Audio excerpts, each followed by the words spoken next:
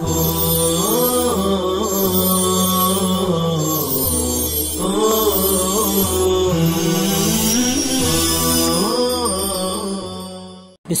الرحمن الرحيم.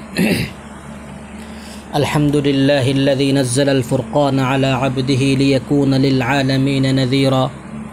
وصلى الله وسلم على نبينا محمد بن عبد الله المبعوث بشيرا ونذيرا. وداعيا إلى الله بإذنه وسراجا منيرا. أما بعد فأعوذ بالله من الشيطان الرجيم. بسم الله الرحمن الرحيم.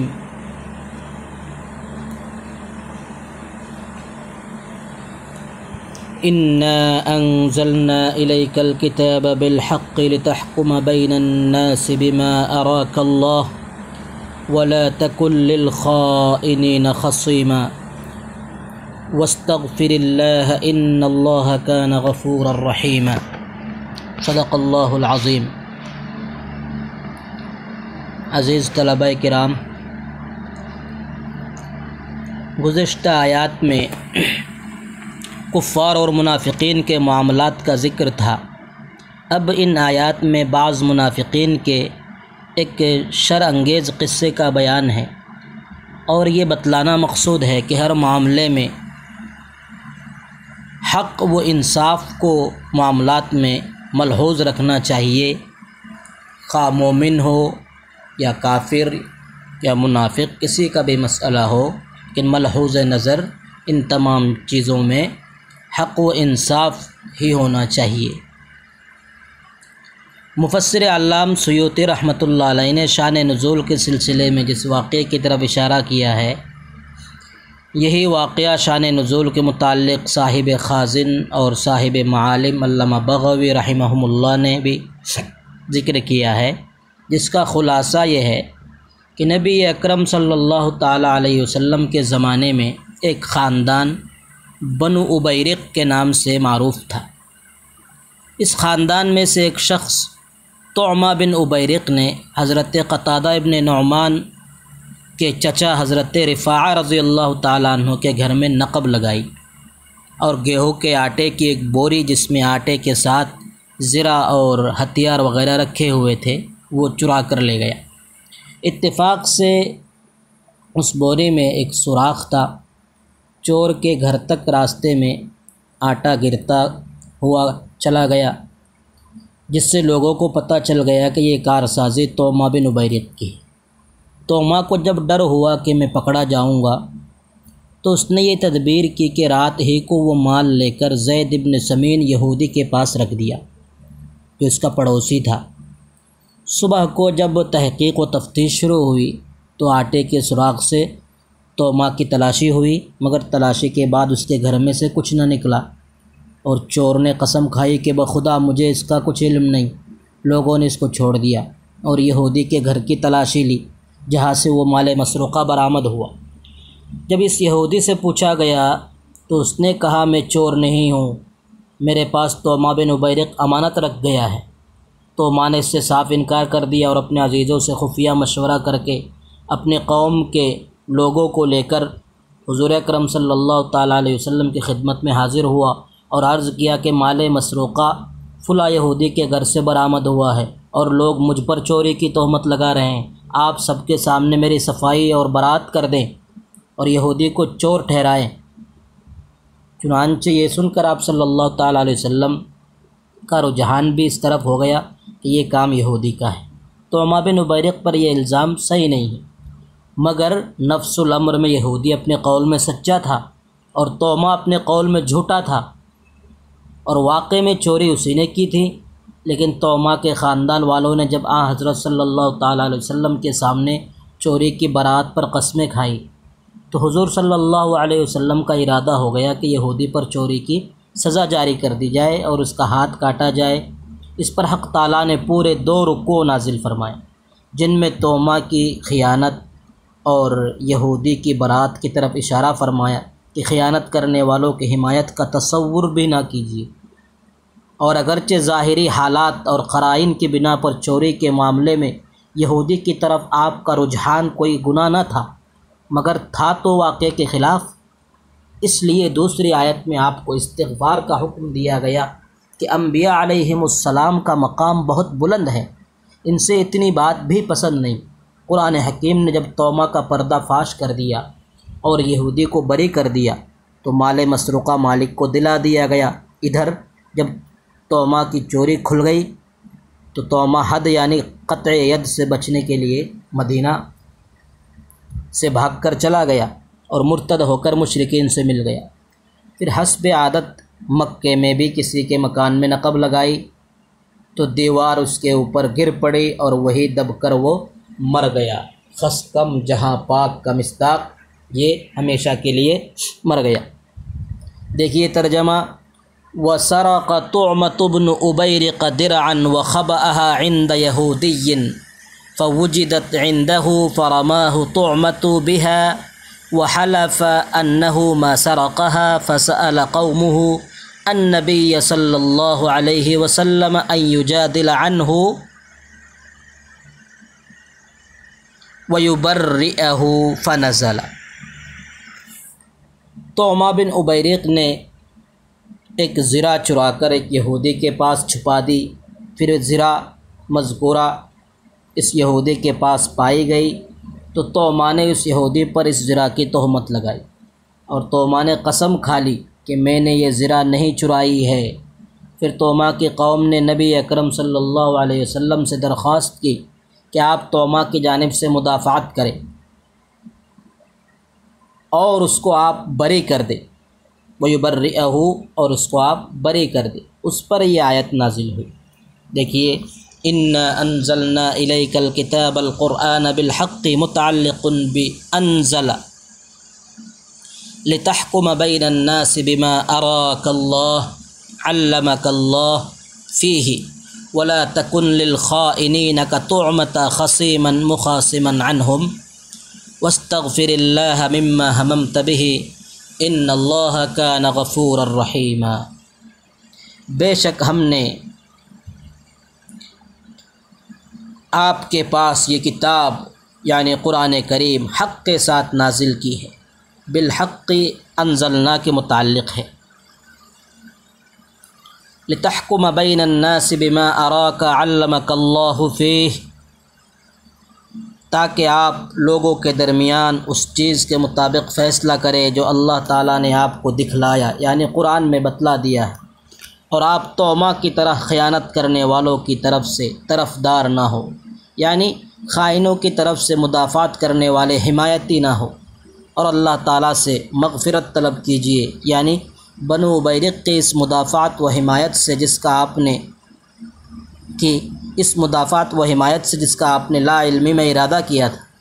بلا شبہ اللہ تعالیٰ بڑے مغفرت کرنے والے، بڑے رحمت والے ہیں۔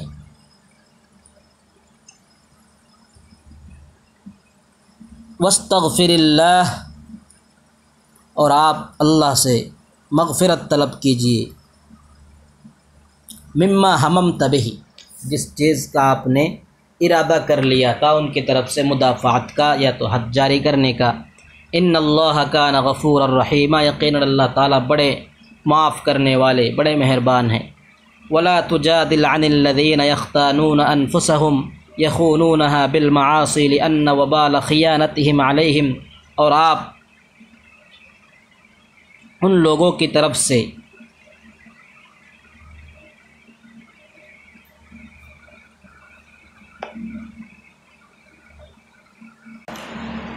کوئی جواب دہی کی بات نہ کیجیے۔ یخونون الذین یختانون انفسہم، جو اپنے آپ سے خیانت کرتے ہیں گناہ کے ذریعے سے۔ یخونونہا بالمعاصی، جو گناہ کے ذریعے سے خود اپنی ذات سے زیادتی اور ظلم کرتے ہیں۔ لأن وبال خیانتہم علیہم خیانت کی نسبت خود نفس کی طرف کرنے کی وجہ کہہ رہے ہیں کہ لأن وبال خیانتہم علیہم کیونکہ ان کی خیانت کا وبال خود انہی پر ہے۔ ان اللہ لا يحب من کان خوانا کثیر الخیانت اسیما ان يعاقبه۔ یقینا اللہ تعالی ہر اس شخص کو پسند نہیں کرتے جو بد دیانت ہو، بہت زیادہ خیانت والا ہو اور گنہ گار ہو۔ عاقب ہو جب اللہ پسند نہیں کرتا تو ایسے کو اللہ تعالیٰ سزا بھی دیں گے۔ يستخفون أي طعمت وقومه حياء من الناس ولا يستخفون من الله وهو معهم بعلمه إذ يبيتون يضمرون ما لا يرضى من القول من عزمهم على الحلف على نفي السرقة ورمي اليهودي بها وكان الله بما يعملون محيطا علما. یہ لوگ یعنی توما اور اس کے قوم، مارے شرم کے لوگوں سے چھپتے ہیں. ولا يستخفون من اللہ، اور وہ اللہ سے حیا نہیں کرتے، نہیں شرماتے، نہیں چھپتے. وہ معہم اللہ کے، حالانکہ اللہ ان کے ساتھ ہے اپنے علم کے ذریعے سے. بے اعتبار علم اذ یبیتون یضمرون ما لا يرضى من القول جبکہ لوگ ان چیزوں کے بارے میں تدبیر کر رہے تھے جو مرضی خدا کے خلاف ان باتوں کی تدبیر کر رہے تھے جو مرضی الہی کے خلاف ہے۔ من عزمہم علی الحلف یعنی نفی سریقہ، چوری کی نفی پر قسم کھانے کا عزم کر لینا اور اس چوری کی تہمت یہودی پر لگا دینے کا۔ یہ ما لا یرضا من القول۔ وکان اللہ بما یعملون محیطا اور اللہ تعالیٰ جو کچھ وہ کر رہے ہیں، سب کا احاطہ کیے ہوئے ہیں اعتبار علم کے۔ ہا انتم یا ہا اولاء خطاب لقوم تعمت جادلتم خاصمتم عنہم ای عن تعمت وزویہ وقرئ عنہ فی الحیات الدنیا فمن یجادل اللہ عنہم یوم القیامت اذا عذبہم ام من یکون علیہم وکیلا یتولا امرہم وَيَذُبُّ عَنْهُمْ أَيْ لَا أَحَدٌ يَفْعَلُ پھر تم ہی ہو۔ یہ لوگوں یہ خطاب ہے توما کی قوم سے کہ تم جواب دہی کی بات کرتے ہو ان کی طرف سے یعنی توما اور اس کے رشتہ داروں کی طرف سے۔ وقوری عن ہو یعنی ہا ان تم ہا اولا جادل تم ان ہم ایک قرات جو مشہور ہے اور ایک شاز قرات قری عن، جو ہے عن ہو ہے جادل تم عن ہو فی الحیات دنیا دنیاوی زندگی میں، فمن یجادل اللہ عنہم یوم القیامہ، تو کون شخص ان کی طرف سے قیامت کے دن جواب دہی کی بات کرے گا، جب اللہ انہیں عذاب دیں گے۔ امن یقون علیہم وکیلا، یا کون شخص جو ان کی طرف سے ذمہ داری لے گا، ان کا کار ساز ہوگا۔ یا طول امرحم ان کے معاملے کی ذمہ داری اٹھائے گا اور ان کی طرف سے دفاع کرے گا۔ ای لا احد یفعل ذلك یعنی کوئی ایسا نہیں کر سکتا۔ ومن يعمل سوءا ذنبا يسوء به غيره كرمي طعمة اليهودي او يظلم نفسه بعمل ذنب قاصر عليه، ثم يستغفر الله منه ان يتب يجد الله غفورا له، رحيما به. اور جو شخص کسی برائی کا ارتکاب کرے ذنبا يسوء به غيره ایسے برائی اور گناہ جس کے ذریعے سے وہ دوسروں کو جو ہے ضرر پہنچائے، جیسے کہ توما کا یہودی پر الزام اور تہمت لگا دینا، یا اپنے اوپر ظلم کر لے اپنے نفس پر بیامل ضم قاصر علیہ. جس کا انحصار خود اس کے ذات تک محدود ہو۔